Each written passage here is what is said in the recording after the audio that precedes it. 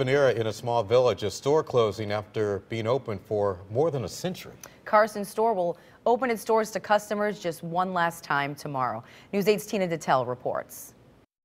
You can see from the furniture here right on the front porch that not much has changed here at Carson store in the last 106 years.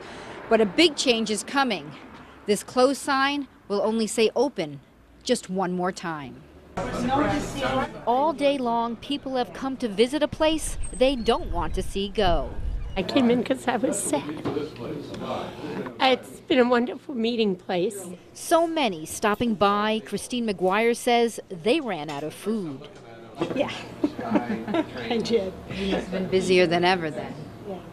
She's worked at Carson's store for years. She knows the regulars, and she knows she will miss them.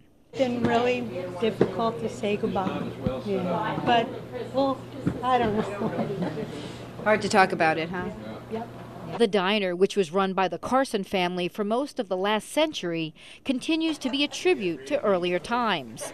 Its motif maintained by current owner Dave Blacker, who wasn't around to tell us why it is closing. And I think Noank needs it. Mm-hmm. It's a wonderful pay, place to gather and to enjoy, and there's a lot of history here.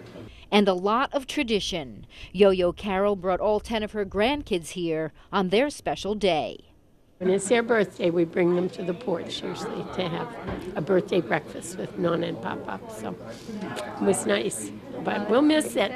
If you think it was busy today, just wait till New Year's Day.